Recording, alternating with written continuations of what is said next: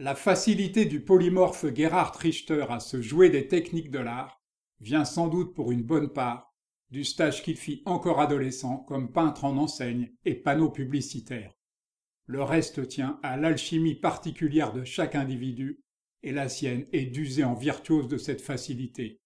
Quoi qu'il en soit, une fois actée sa décision de devenir artiste, il n'a cessé d'aller d'une technique à l'autre, d'alterner entre un courant et un autre, de passer de l'hyperréalisme à l'abstraction et vice-versa, de sauter de Dada au pop art en passant par Fluxus, Jackson Pollock ou Francis Bacon.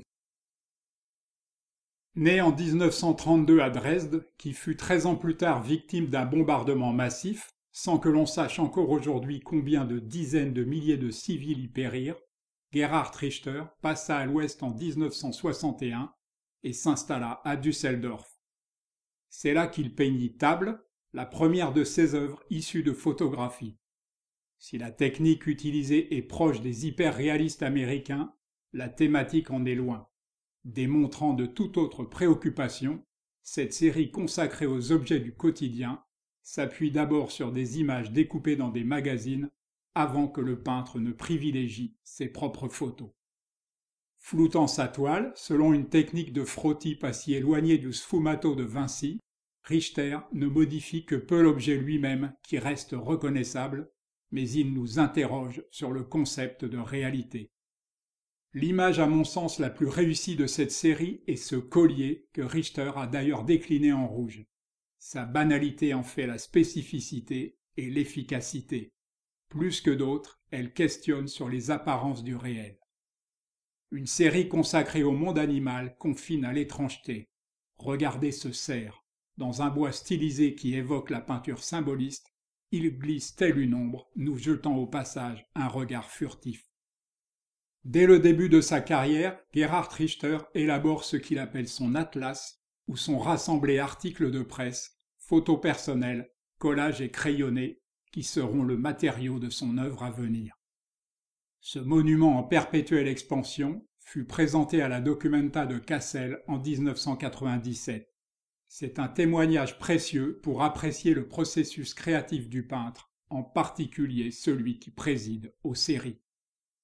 L'une d'entre elles lui fut inspirée par les paysages alpins, mais je la juge assez peu convaincante, sans doute parce que Richter ne disposait pas encore de tous les moyens plastiques qui seront sa marque de fabrique.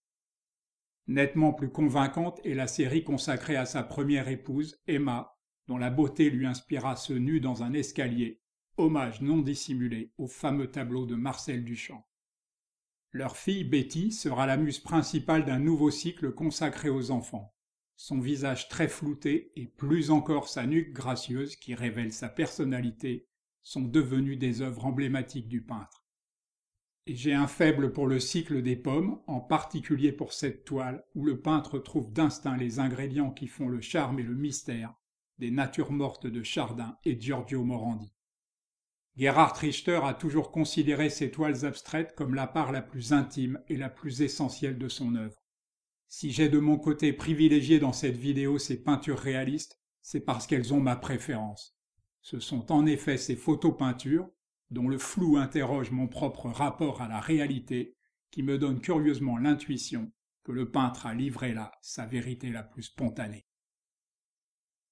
S'imaginer une chose, cela représenter fait de nous des hommes, écrit Gerhard Richter. L'art, c'est donner du sens, générer du sens au même titre que la quête de Dieu. Mais il précise, ce qui peut sembler contradictoire, qu'un tableau qui contient du sens est un mauvais tableau, toute œuvre est en confusion et aberration. Pour lui, l'homme n'aspire à une vérité artificielle que dans la mesure où il n'y a pas de vérité absolue. L'art serait ainsi la dernière forme de l'espoir, l'ultime concrétisation de la nostalgie de Dieu. Depuis qu'il n'y a plus ni prêtre ni philosophe, ajoute-t-il, les artistes sont les personnes les plus importantes au monde.